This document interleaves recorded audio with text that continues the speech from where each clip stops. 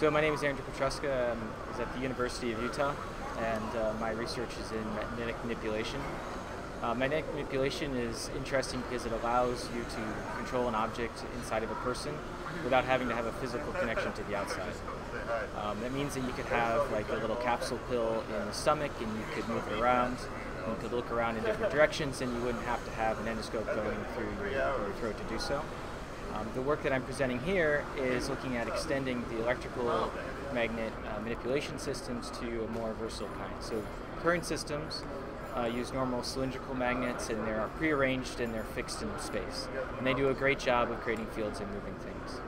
Um, our system is a bit different. Instead of having individual magnets, we've taken uh, three coils and we've located them in one position pointed in different directions around a spherical core. And what that allows us to do is create a field that looks like a dipole field. You might remember from your, your kids playing with magnets and the iron filings. Um, and so we can create that field in any direction. And then what it turns out is, and what this work is about, is we can take multiple of these, we call them omni-magnet modules, and combine them to do really cool things. We can levitate an object, we can twist it around in any direction without touching it. And the unique thing is now we can actually move these modules while we're doing the manipulation.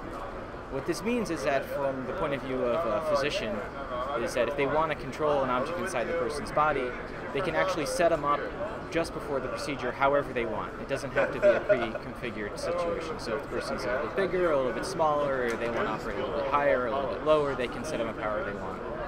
And then during the procedure, if they are like using a fluoroscope to take x-ray images or something else and, and the magnet starts to become in the way somehow or they need access to this part of the body they actually can go in and move the magnet while they're doing the procedure without having to like recalibrate the system and everything maintaining control of the tool.